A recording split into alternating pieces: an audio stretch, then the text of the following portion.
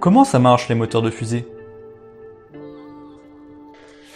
Salut, c'est Mathieu et bienvenue sur Lance-toi. Aujourd'hui, on se lance à la découverte des moteurs de fusée à ergol solides et liquides. Vous allez voir que même si c'est un sujet qui peut donner du fil à retordre aux ingénieurs, il est super intéressant et il reste abordable à tous. Alors pour commencer, il faut bien comprendre que notre objectif est d'arracher la fusée de la gravité terrestre qui nous attire vers le centre de la Terre. La fusée doit être capable de porter à une très haute altitude une charge utile de plusieurs tonnes comme des satellites. Et pour ça, on va utiliser le bien connu principe d'action-réaction énoncé par Newton. Tout corps appliquant une force sur un autre subira une force égale mais de sens opposé en retour. C'est comme lorsque je pousse contre un mur, lui me repousse en retour. C'est à cause de ce principe qu'un canon recule par exemple lorsqu'il tire un boulet, et c'est grâce à lui que nous allons faire décoller notre fusée. L'idée est d'éjecter une grande quantité de matière vers le bas de la fusée pour profiter de la réaction et décoller. Une bonne solution consiste à propulser des gaz, or comme nous allons le voir, eh bien une fusée ça pèse des tonnes. Il va alors falloir que la poussée générée par les gaz éjectés soit supérieure au poids de la fusée, sinon elle restera clouée au sol. Alors comment allons-nous pouvoir éjecter des gaz à haute vitesse? Eh bien c'est le sujet de la vidéo. Contrairement à un moteur de voiture qui utilise plein de petites explosions pour actionner les pistons et entraîner l'axe qui va faire tourner les roues, eh bien ici nous allons créer une énorme explosion continue et contrôlée. Pour créer cette explosion, il y a plusieurs solutions, et nous, nous allons étudier celles qui ont recours à une réaction chimique. Pour créer une flamme, il faut mettre en contact un comburant comme l'oxygène de l'air, un combustible comme l'essence dans une voiture, et une source de chaleur comme une étincelle.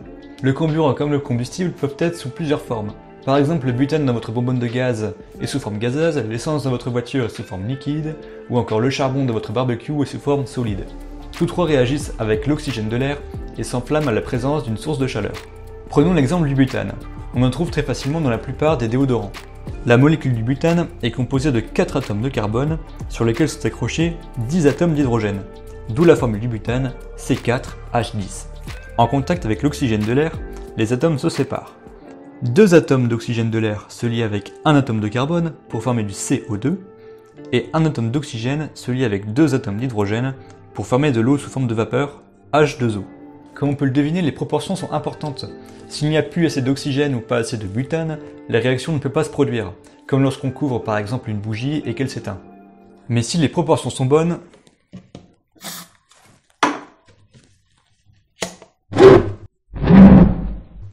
alors nous pouvons en faire une belle explosion.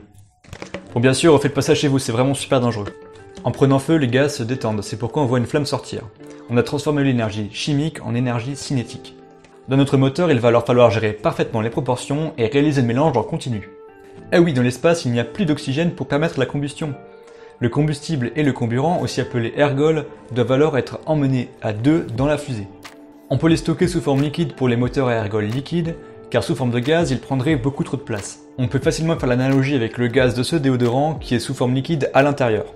Pour le liquéfier, plusieurs solutions, on peut soit le comprimer ou alors le refroidir et on dit dans ce cas-là qu'il est sous forme cryogénique. On peut voir par exemple sur le diagramme de phase de l'oxygène qu'à pression atmosphérique de 1 bar, il faut le refroidir à moins 170 degrés pour qu'il passe de l'état gazeux à liquide. Les ergols sont donc stockés dans deux réservoirs différents dans la fusée, un pour le combustible et un pour le comburant. Lorsqu'on les remplit, une partie s'évapore car les réservoirs sont moins froids. Il faut alors les dégazer, ce sont les fumées blanches qu'on peut observer régulièrement lors de lancement. À cause de la température très basse des ergols, de la glace peut également se former sur le fuselage de la fusée et on en voit tomber des morceaux lors de décollage. Ok, maintenant que nous avons nos ergols dans la fusée, il s'agit de les faire réagir à très haut débit pour créer l'explosion.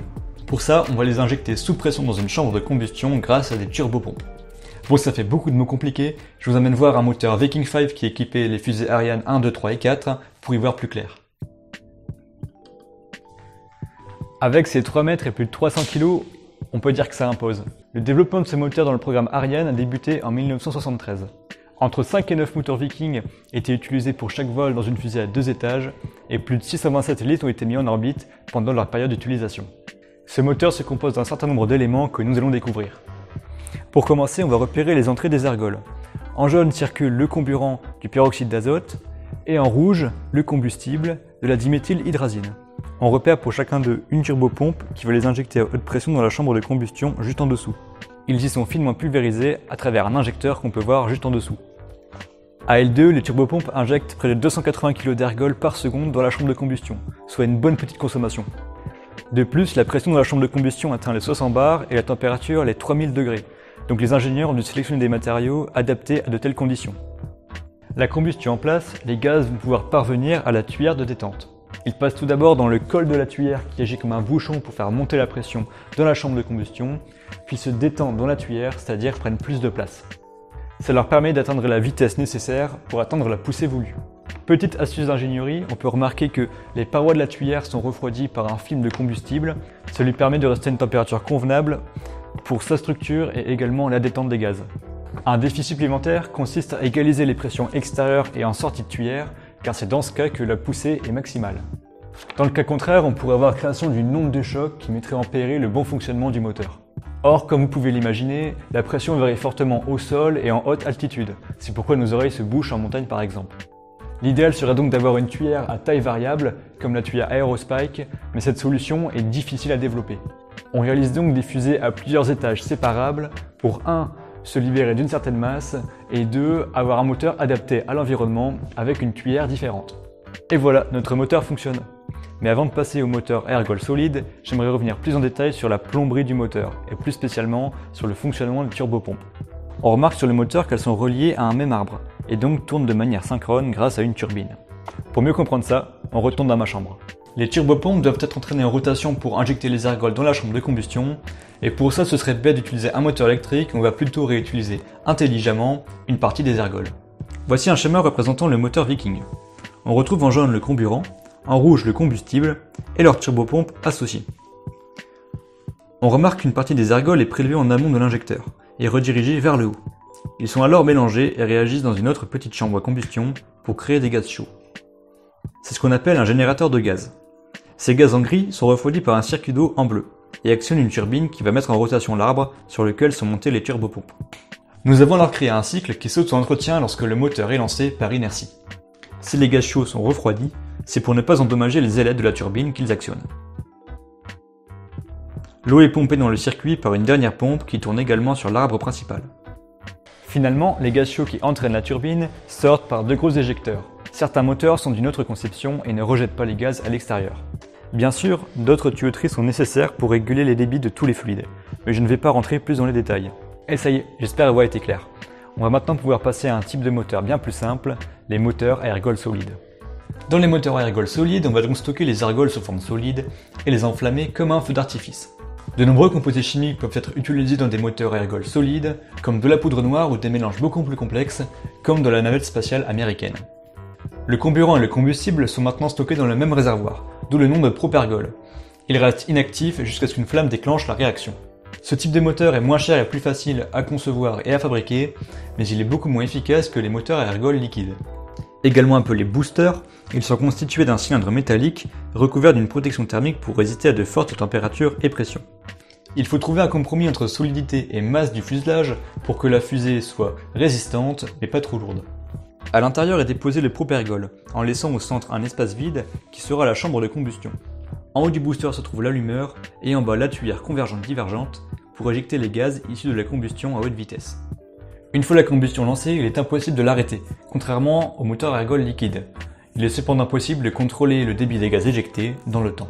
Pour ça, on peut faire varier la forme de la chambre de combustion qui va se consumer dans le temps et ainsi faire varier la poussée. De nombreux contours ont été développés, et comme vous pouvez le voir, chaque contour est associé à un profil de poussée dans la durée. Certains offrent beaucoup de poussée au début, alors que d'autres ont une poussée plus constante. Pour créer ces motifs, on utilise d'énormes moules dans lesquels on remplit la pâte d'ergol.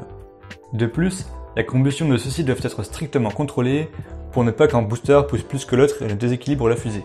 Par nature, une fusée est instable. C'est comme s'il fallait faire tenir un crayon sur le bout d'un doigt. Il faut donc que les tuyères soient orientables pour gérer l'orientation de la fusée. Des vérins sont fixés sur les côtés et on peut les voir bouger sur certaines vidéos. Et voilà, on a fait un petit tour du sujet. Vous savez maintenant comment fonctionnent les moteurs de fusée ergol solide et liquide. Je vous mets une petite playlist juste ici avec d'autres découvertes. Si ça vous a plu, vous pouvez vous abonner et liker. Et je vous dis tout de suite à la prochaine pour de nouveaux projets et de nouvelles découvertes.